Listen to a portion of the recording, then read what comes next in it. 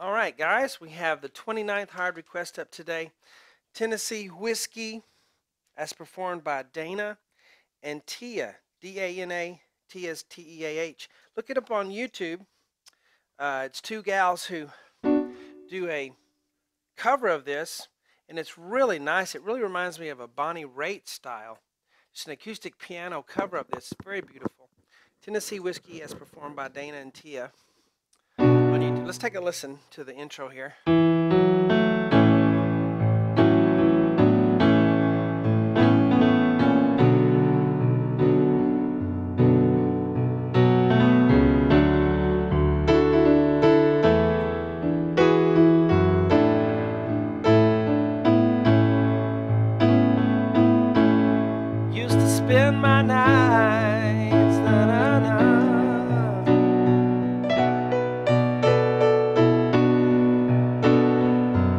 And so forth. Hello everyone, I'm Shawn Cheek and welcome to my Easy Piano Lessons. We are doing, as I said, Tennessee Whiskey today. All the lessons for this will be on my website, webpianoteacher.com. So we'll do the part one right here, right now. And yes, this is the 29th hard request on the current list. And let's do this. This is what I love about the hard request list is that we get to do stuff that normally people don't you know get to do. There's a lot of great performances out there by people who aren't famous. and this is one of them. It's a very tastefully done piano cover. Lots of neat little things. It's very, not very difficult to play at all, but it's really cool if you want to learn this style. Okay? Little bluesy. Um, let's start with the right hand. E, F sharp, A. One, two, three. E, F sharp, A. Bum, bum, bum. We are in a one, two, three, four, five, six beat, a six, eight beat. and if you don't know what that means, that's okay. You just have to know that there's a da, da, da, da, da, da. One, two, three, four, five, six, one. With an accent on one and four. One, two, four, five, six. Kind of a lilting rhythm. So those are our pickup notes, four, five, six. then we go to our A chord, E, A, C sharp. Left hand will be on an A octave. I just have one A written there, but we're going to do an octave. One, two, three, count. Four will be E, F sharp, A, C. One, two, three, five. And we'll play that. And then an E, thumb, and then F sharp, B, D. Right after that. I'll use two, four, five. I'm classically trained, so I use weird fingering sometimes, but you can use what you want. Here we go. Four, five, six. One, two, five, six. Now the little squiggly line, as I call them, that's just a vamping um, symbol I put there. You just keep it, keep it moving. You mark time until it's time to play the next thing.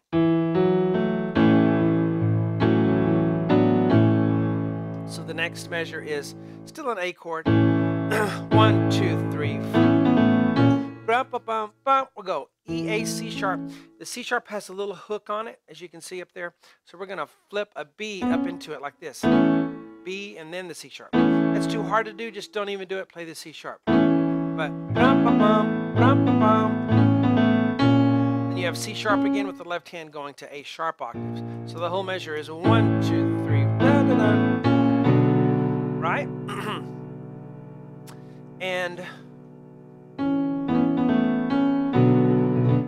Uh, we're going to B minor now. We've had two A chords for the first two measures. Now one, two, three, four. So D, F sharp, B, left hand on the B. Four, five. And you're just going to vamp. See that squiggly goes for the whole measure. Also part of the next measure. Two, three, four, five, six. One, two,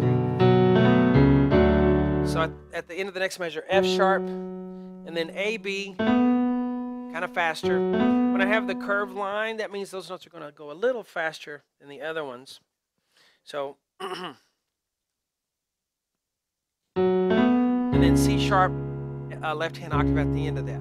So let's try that much from the beginning. One, two, three, four, five, six. One, two, three, four. One, two, three.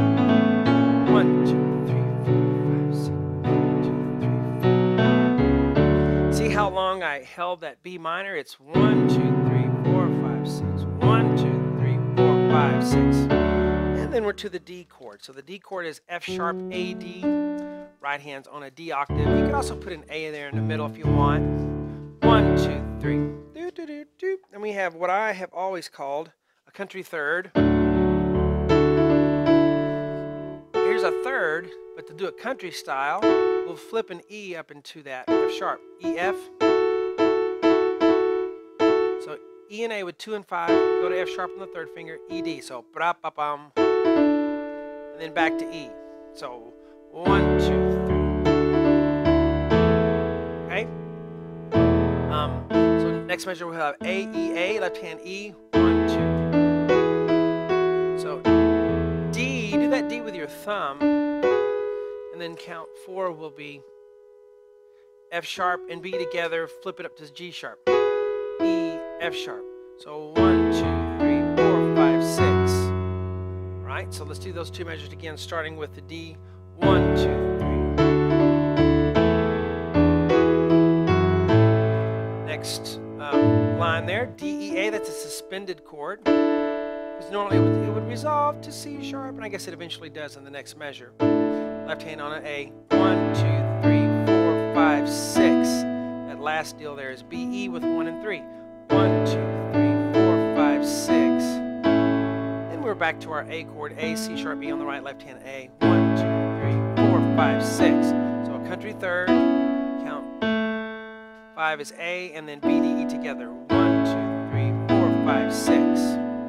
So let's try all of it from the very beginning all the way to there. You have to really consciously make sure you don't rush. One, two, four. Kind of drag yourself a little bit because the tendency will be to rush and to go faster, especially with all those, um, you know, where you're marking time, waiting on the rhythm. Here we go. One, two, three, four, five, six. One, two, three. Two, three. One, two, three, four, five, six. One, two,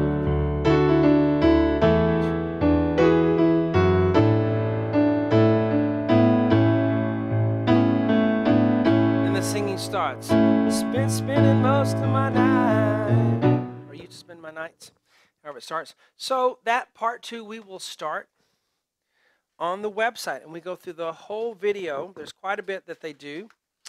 And we'll teach you the whole thing on webpianoteacher.com. Hope you guys enjoyed the part one. Talk to you later.